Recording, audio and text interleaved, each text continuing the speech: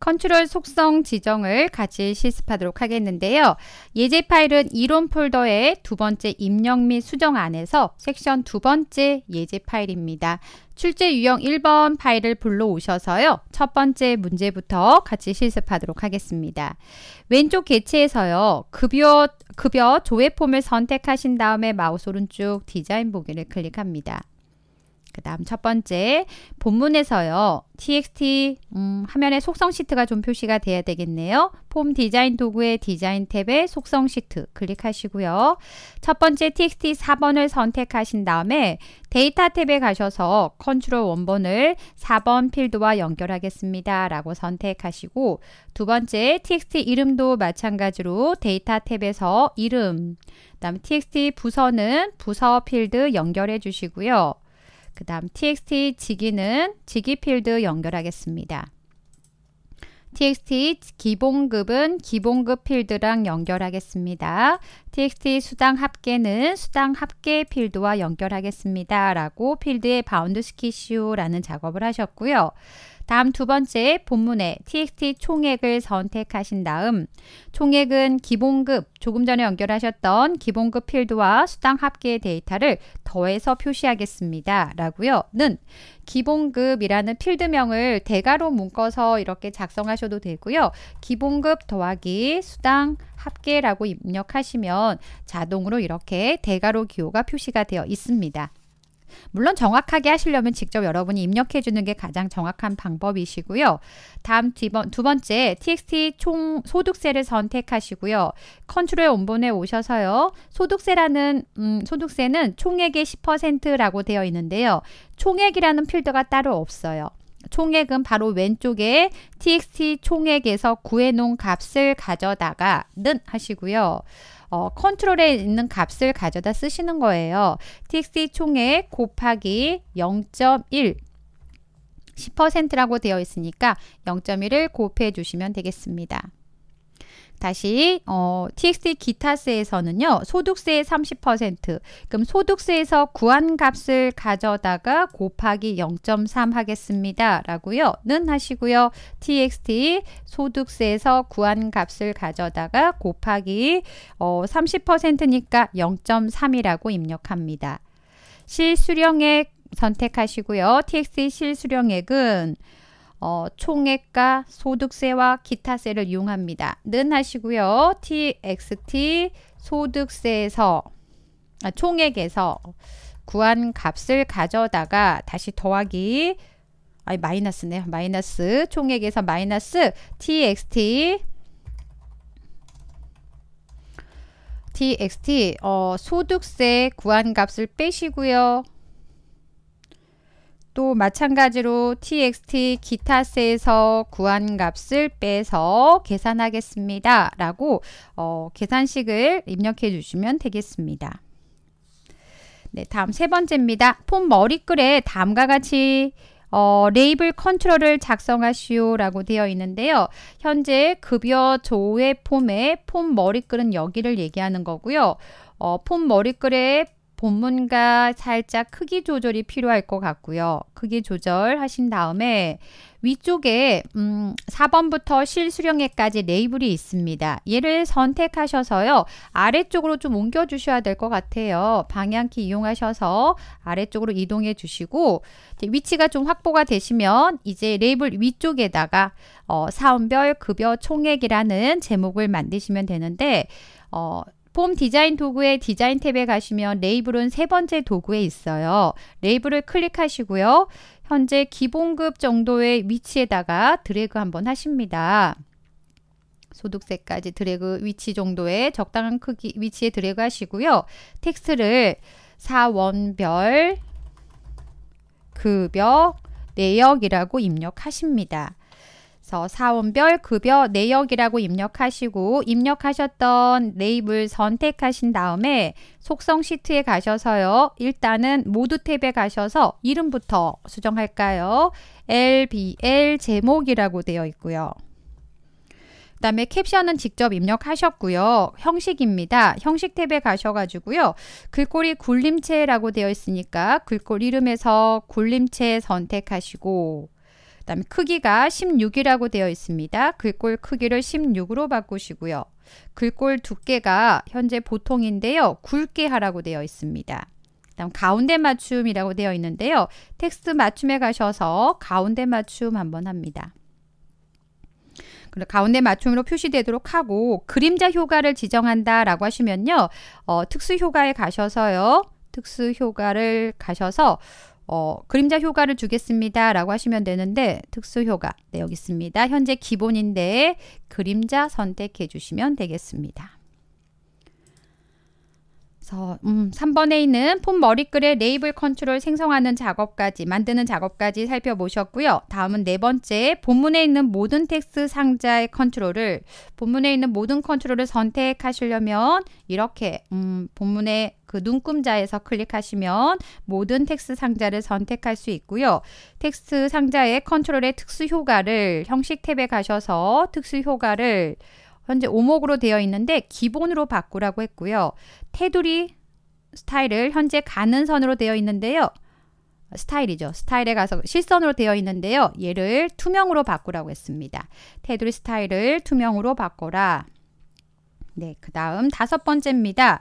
본문에서요. 본문에서 txt 기본급과 txt 기본급 기본급이 여기 있어요. txt 기본급 선택하시고요. 그 다음에 Shift 누른 상태에서 txt 수당 합계, txt 총액, txt 소득세, txt 기타세, txt 실수령액까지 한꺼번에 다 선택을 하시고요. 그리고 나서 어, 컨트롤은 데이터를 편집할 수 없도록 설정하시오 라고 되어 있습니다. 데이터 탭에 가셔서요. 어, 편집할 수 없다라고 하시면요. 잠금을 예로 해주시면 돼요. 사용자가 편집할 수 없도록 하겠습니다. 잠금을 예로 하시고요. 다시 본문에서요. txt 사번을 선택하시고요. 사번의 컨트롤은 포커스를 가질 수 없도록 하세요. 그러면 데이터 탭에 가셔서 사용 가능을 아니오로 하시면 어, 포커스를 가져 어, 어, 포커스를 가질 수 없도록 설정하실 수가 있습니다. 다음은 음, 일곱 번째 폼 바닥글 영역에서 전체 총액의 합계를 표시되도록 컨트롤을 생성하시오라고 되어 있습니다. 아, 이쪽에요. 음, 폼 바닥글의 이쪽 부분에다가요, 어, 총액 합을 표시할 수 있도록 텍스 상자를 만들라는 거네요. 폼 디자인 도구의 디자인 탭에 가셔서 텍스 상자를 선택하신 다음 위치가 어, 기 타세부터 큼직하게 그리시면 되겠네요. 이 정도 크기로 드래그 하시고 그 다음 음, 텍스 마법사, 텍스 상자 마법사가 뜨시면 마침 한번 누르시고요. 그 다음에 텍스 상자를 만들었어요. 여기에 컨트롤 이름을 얘 텍스 상자의 컨트롤 이름을 모두 탭에 가셔서 이름 부분입니다. 살짝 위로 올리시고요. 이름이 텍스트 41로 나오는데요. 얘를 txt 총액 합으로 바꾸래요. 총액합으로 바꾸시고 레이블에 가셔서 얘는 어, 캡션에서 바꾸셔도 돼요. 음, 총, 총액합으로 바꾸래요. 아, 레이블이죠. 레이블에 캡션에 오셔서 캡션에 오셔서 총액합으로 바꾸시면 됩니다. 네, 이렇게 수정해 주시면 되겠고요. 그러면 음, 컨트롤 이름도 바꾸셨고 레이블은 총액 합으로 표시되도록 설정하였습니다. 또 하나 폼 바닥글 영역의 전체 총액의 합계가 표시될 수 있도록 우리 조금 전에 만드셨던 txt 총액 합에다, 합에다가 데이터 탭에 컨트롤 원본에다가 합을 구하셔야 돼요. 전체 총액의 합계를 표시하시려면 총액의 합계 그럼 총액의 합은 기본급 더하기 수당 합계 합을 구하시면 되겠네요. 기본급 더하기 수당 합계 합을 구해서 총액 합으로 표시하시면 돼요. 그럼 컨트롤 원본에 오셔서 합계를 구하겠습니다. 썸이라고 입력하시고요. 기본급 뭐 필드명을 정확하게 입력하시려면 이렇게 대괄호 묶어주시면 돼요. 기본급 더하기 수당 합계 필드의 값을 가져다가 더한 다음에 그거를 sum 함수를 통해서 합계를 구하겠습니다. 라고 작성해 주시면 되겠고요.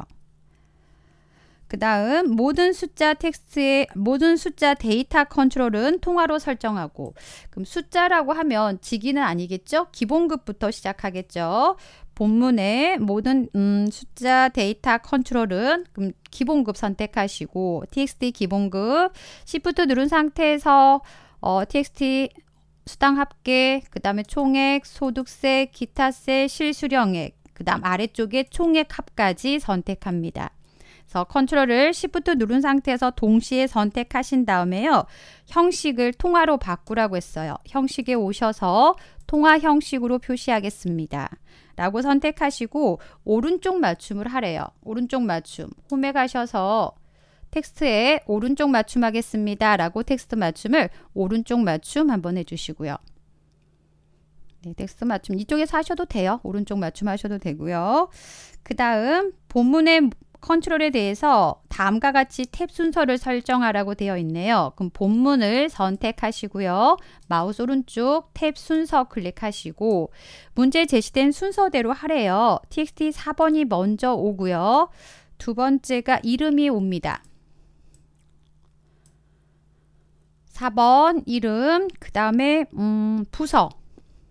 부서가 세 번째 오고요. 그 다음에 직위가 오고요. 네 번째 직위, 그 다음에 기본급, 그 다음에 수당 합계, TXT 총액, 소득세, 기타세, 실수령액 순서대로 어, 지정하시고요. 확인 한번 누릅니다.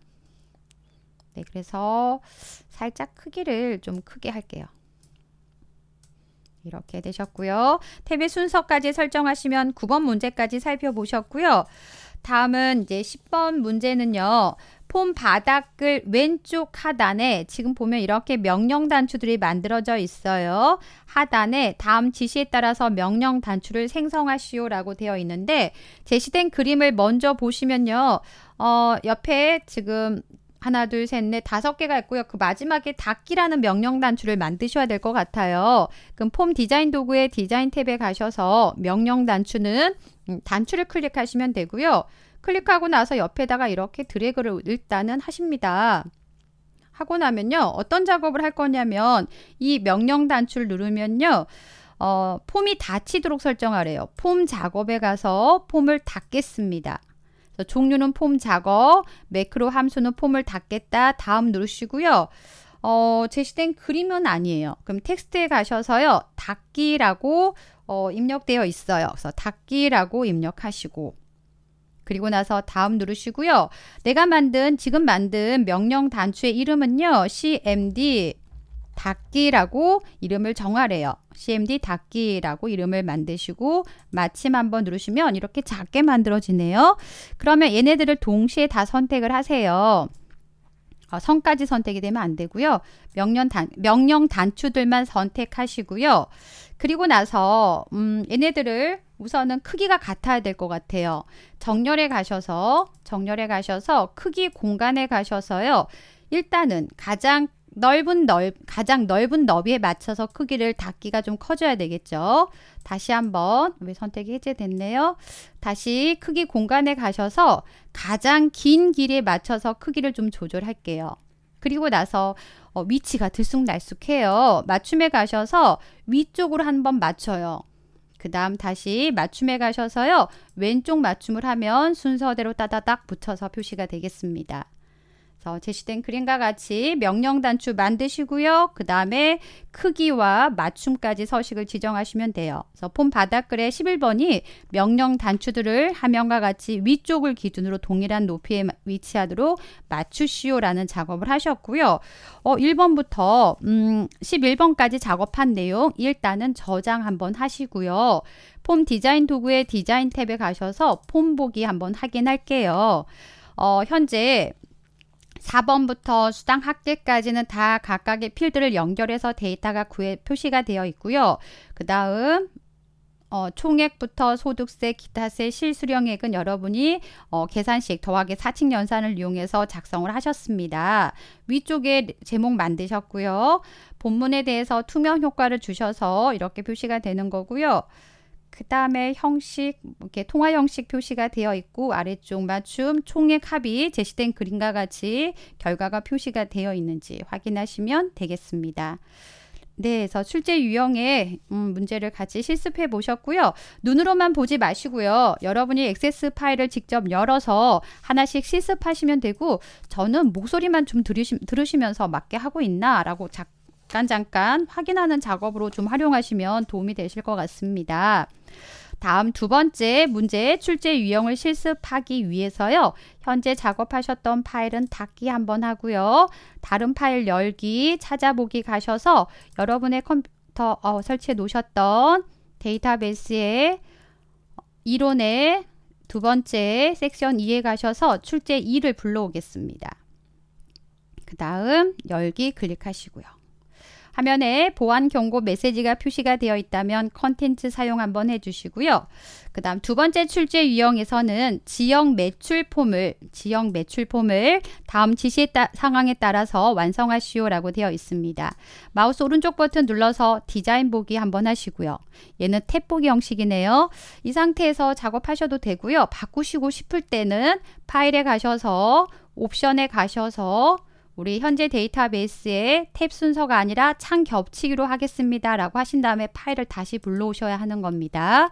그래서 저는 그냥 이 상태에서 작업을 할게요. 화면과 같은 형태로 나타나도록 기본 보기 속성을 설정하시오 라고 되어 있습니다. 그렇다면 가로와 세로의 눈금자가 교차하는 부분을 폼 속성 클릭하셔서요. 어, 기본 보기가 현재 데이터 시트라고 되어 있는데요. 여러 개의 레코드를 같이 볼 수 있는 연속 폼 형태로 바꾸겠습니다. 라고 연속 폼을 선택해 주시면 되겠고요. 다음은 본문에서 현재 unbound 되어 있는 txt 판매 수량을 선택하고 데이터 탭에 오셔서 컨트롤 원본을 판매 수량 선택합니다. TXT 매출액을 선택하시고요. 컨트롤 원본에 오셔서 매출액 선택합니다. TXT 순 매출액을 선택하시고요. 컨트롤 원본에 오셔서 순 매출액 선택하시고요. 세 개에 대해서 각각 작업을 하셨고요. 다음은 세 번째 폼 바닥글에서요. TXT 판매 횟수라고 되어 있는 컨트롤을 선택합니다. 그 다음 어, 컨트롤 현 매출 횟수가 표시될 수 있도록 컨트롤 원본에다가 개수를 구하겠습니다. 라고 하시면 카운트 함수 이용하시면 되고요. count 가로 열고 별표 입력하고 가로 닫고 해주시면 되겠습니다.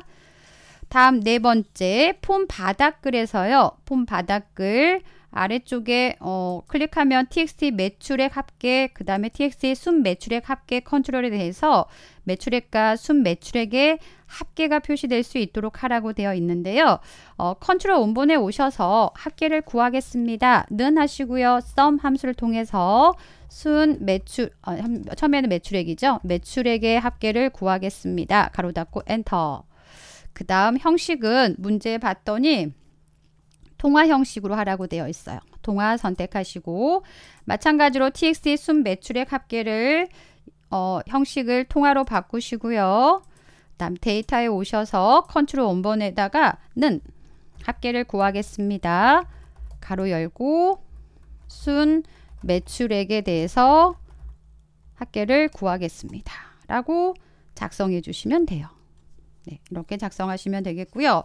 다음은 다섯 번째입니다. 본문 컨트롤에 대해서 본문을 선택하신 다음에 탭 순서를 설정하라고 했어요. 마우스 오른쪽 탭 순서 현재 지역명이 먼저 와 있는데요. 지역 코드가 첫 번째 선택이 될 수 있도록 그 다음에 지역명, 상품명, 판매 수량, 매출액, 순매출액, 순이익률 어, 하나만 바꾸시면 되네요. 확인 한번 누르겠습니다. 다음은 여섯 번째 본문에서요. txt 수익률이라고 unbound 되어 있는 텍스트 상자 하나 선택하시고요.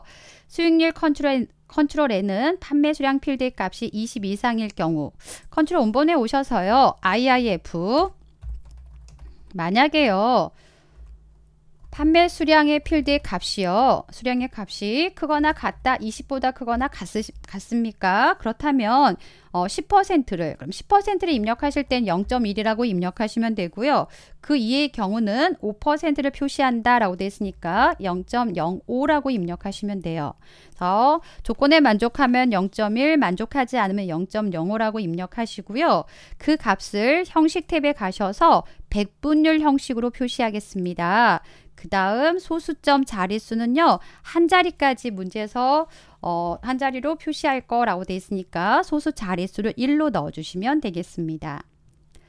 다음은 일곱 번째입니다. 폼 바닥글에서요. 폼 바닥글에 언바운드 되어 있는 txt 지역 합계, 그 다음에 지역 평균에 대해서는 폼의 폼의 지역 코드 컨트롤을 이용하여 txt 지역 코드를 이용하여 어, 판매 현황 테이블에서 매출액의 합계와 평균을 표시하도록 설정하시오라고 되어 있습니다.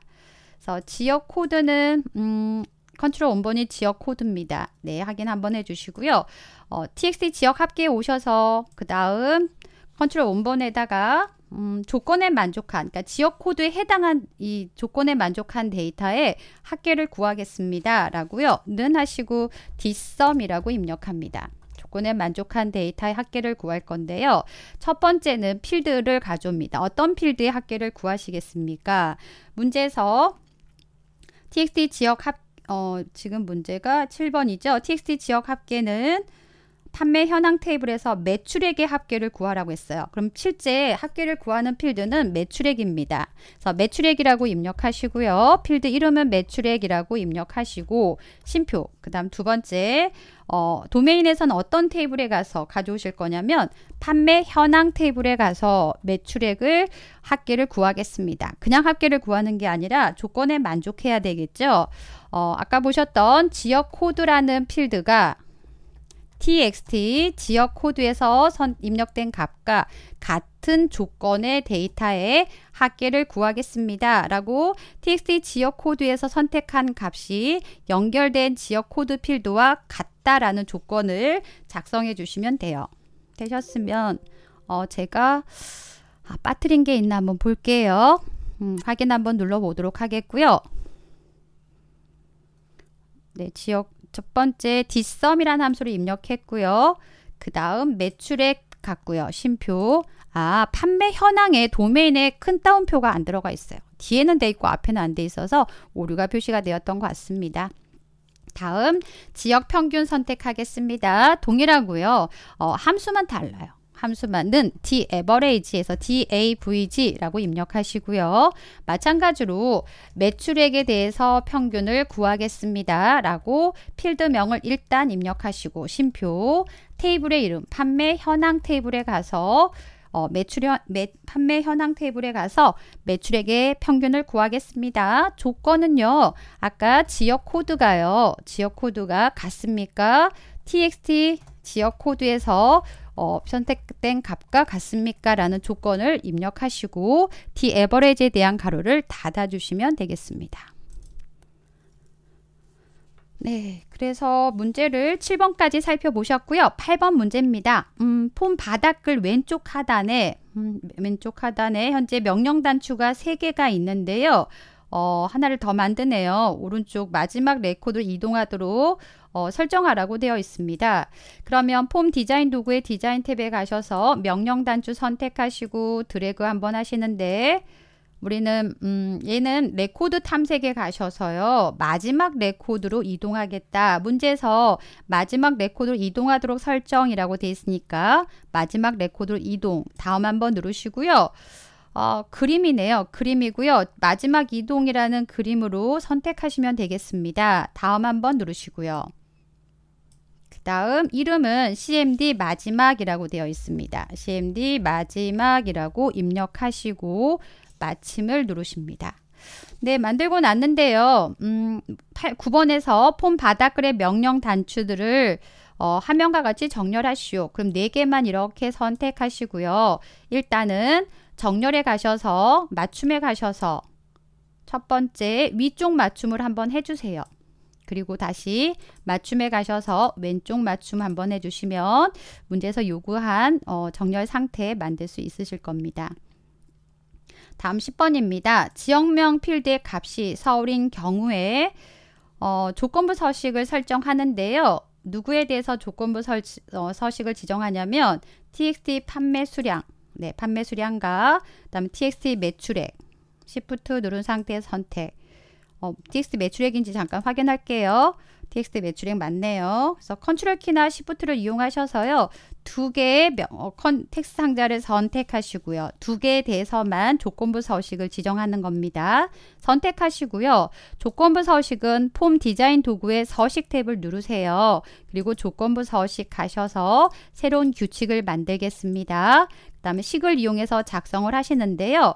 식은 어떻게 작성하시냐면 지역명 필드의 값이요. 서울과 같습니까? 라고요. 지역명 필드 대괄호 묶으시고요. 그 값이 서울과 같습니까? 라고 조건을 어, 문자 처리하셔서 입력합니다. 지역명 필드가 서울과 같습니까? 그렇다면 어, 배경 색깔을 음, 배경 색깔 채우기 색깔이죠. 배경 색깔을 녹색으로 하라고 되어 있습니다. 그래서 녹색 선택하시고요. 확인 한번 누르시고요. 다시 한번 확인 버튼 눌러주시면 되겠습니다.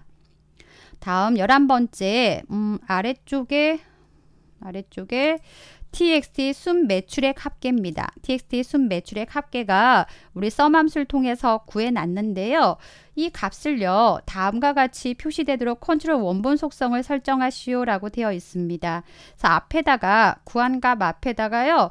어, 문, 그 마름모 모양과 순 매출액도 표시하고요. 뒤에다가 원자도 좀 표시하네요. 그리고 음, 마름모 표시합니다.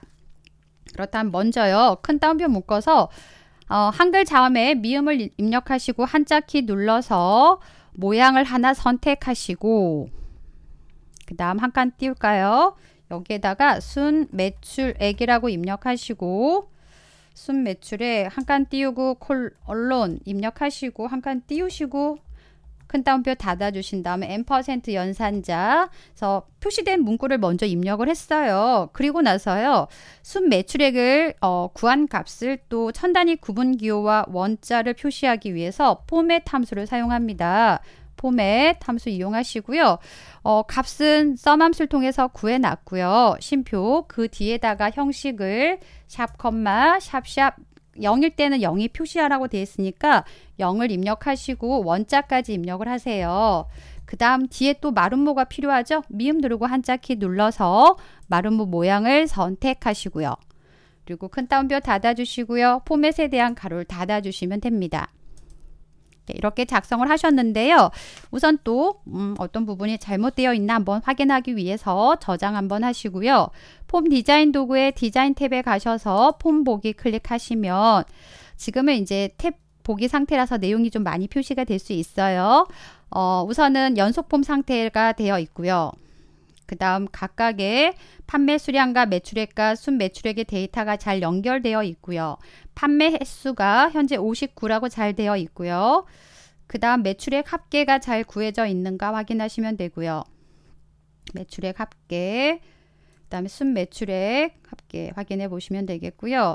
그 다음에 어, 어디죠? 수익률이죠. 수익률이 20 이상이면 10%, 5%, 백분율의 소수 한 자리까지 표시가 되어 있고요. 조건에 만족한 데이터의 합계와 평균값이 구해져 있는가 확인하시면 되겠고 그 다음 명령 단추 만들어져 있는가 확인하시면 되겠고요. 그 다음 조건부 서식인데요. 조건부 서식이 현재 대구가 아니라 서울에 대해서만 조건부 서식을 작성해 놨어요. 그래서 서울에 해당한 데이터가 이렇게 서식이 들어가 있는지 확인하시면 되고 아래쪽에 순 매출액에 대해서 문제 제시된 형식과 같이 표시가 되어 있는지 확인해 주시면 되겠습니다. 네, 여기까지 음, 같이 실습해 보셨습니다. 수고하셨습니다.